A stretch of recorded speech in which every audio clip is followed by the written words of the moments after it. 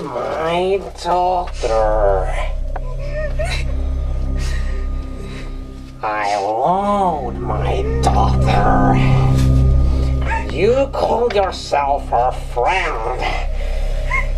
Like you stabbed my daughter in the back. I am going to stab you.